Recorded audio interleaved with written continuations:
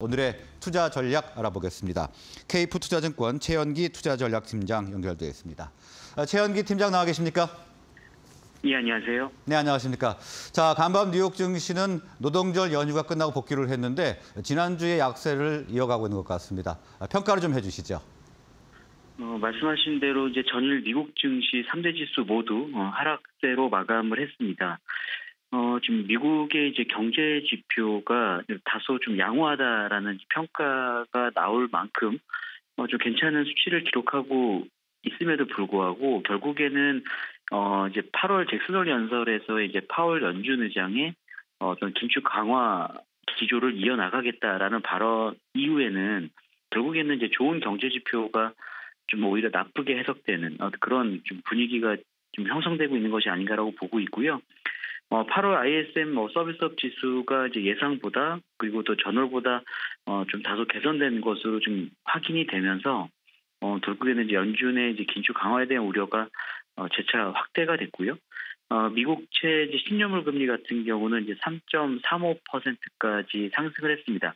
2년물 단기 금리 같은 경우도 3.5%까지 상승을 했기 때문에 어, 결국에는 이제 9월 FOMC 회의에서의 이제 자이언트 스텝 어, 그러니까 3개월 연속 75bp 금리 인상 가능성이 좀 이전보다 좀 높아진 점이 결국에는 투자 심리 위축으로 좀 이어진 것으로 보고 있고요. 어, 여기에 이제 또 어, 중국의 이제 그 코로나 19 어떤 그 재확산에 따른 어떤 봉쇄 조치가 어, 다시금 좀 어, 재개가 되고 있기 때문에 그런 부분에서도 어, 좀 전반적인 어떤 글로벌 경기 둔화에 대한 우려 이런 것들도 어, 투자 심리 좀 위축으로 좀 이어지고 있는 것 같습니다. 여전히 그 뚜렷한 어떤 증시의 반등 모멘텀이 어, 확인되고 있지 않는 가운데 어, 우리가 기존에 사실 인지하고 있는 악재이긴 합니다만 어, 좀 추가적으로 이런 어, 악재가 좀 악화 일로를 좀 가, 가고 있는 상황이기 때문에 어, 그러한 쪽에서 좀 어떤 뚜렷한 어떤 반등의 실마리를 찾고 있지 못하는 것이 아닌가라고 생각을 하고 있습니다. 네, 9월 FOMC에서 자이언트 스텝이 이루어질 가능성이 조금씩 커지고 있는 그런 상황인데요. 자, 유럽의 상황도 만만치가 않은 것 같습니다. 지금 에너지 위기가 현실화되고 있고, 자, 8일에는 에, 통화정책 회의가 예정이 되어 있습니다. 지금 어떻게 전망을 하고 계시나요?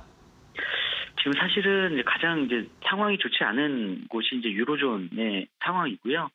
어, 지금 러시아의 이제 가스 공급이 지금 중단된 상황이죠. 물론 표면적인 이유로는 어떤 설비의 어떤 보수를 위해서 어 이제 가동을 중단했다라고 보, 보고는 있습니다만 결국에는 이제 경제 제재에 대한 보복 내지는 이제 최근에 이제 G7에서 그 러시아의 어, 석유라든가 어, 석유 제품에 대해서 가격 상한제를 도입한 거에 대한 어떤 반발 조치라고 좀 보고 있거든요. 그리고 결국에는 이제 동절기의 어떤 그 에너지 수요 성수기를 앞두고 지금은 어 재고를 많이 쌓아 나가야 되는 구간 임에도 불구하고 이런 부분들의 어떤 차질을 빚고 있는 상황 그리고 여기에 또 유로존 같은 경우는 가뭄이라든가 이런 어떤 자연재해로 인해서 어 전반적인 그 원전 수, 원전 전력 공급이라든가 이런 것들도 좀 부족한 상황이기 때문에 어, 인플레이션이 좀 높아지고 있는 것뿐만 아니라 이제 경기의 어떤 그 둔화가 되는 속도 자체도 상대적으로 좀 빠르게 나타난 상황입니다.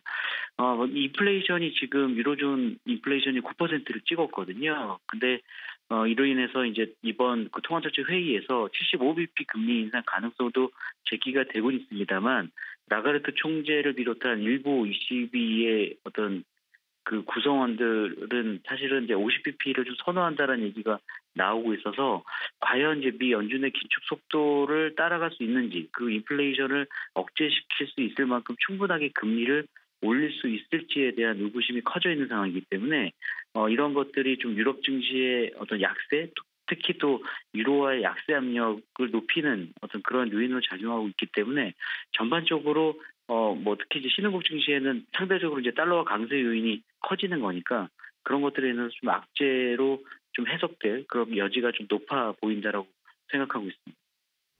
네, 지금 대외적인 불확실성이 커지고 있는 상황인데 우리 투자자분들 이런 상황들 잘 확인을 하는 작업을 해 주셔야 될 것 같습니다. 자, 오늘 말씀 여기서 마무리하겠습니다. 고맙습니다.